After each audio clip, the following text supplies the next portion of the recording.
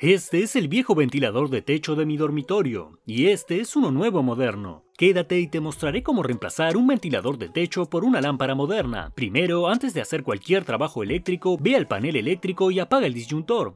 Asegúrate de que no haya electricidad presionando el interruptor de luz varias veces.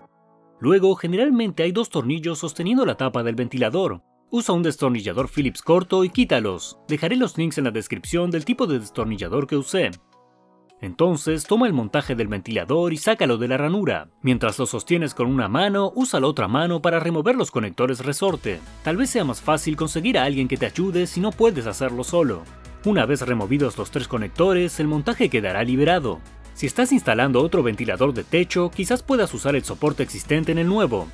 En mi caso, instalaré otro candelabro Spotnik, por lo que tendré que quitarlo removiendo estos dos tornillos de arriba. Luego desempaqueté la nueva lámpara, el candelabro Sputnik de Light Society y coloqué todo en la mesa. Entonces tomé la extensión más pequeña que vino con la lámpara, pasé los cables a través de ella y la conecté a la lámpara.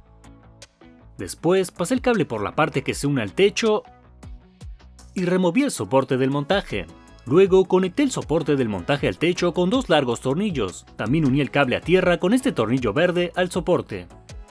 Después, mide el largo de cable que usarás y corta el resto. Asegúrate de pelar los cables apropiadamente antes de instalar la lámpara. Entonces, conecta los cables con los conectores resorte, negro con negro, blanco con blanco y verde con tierra. Luego, instalé los dos tornillos que conectan la lámpara con el soporte del montaje. Y finalmente, coloqué los 18 postes de luz. No estoy muy seguro de por qué necesitamos tantas luces en esta lámpara, pero esto es lo que eligió mi esposa. Así es como se terminó viendo. Gracias por mirar y no olvides suscribirte.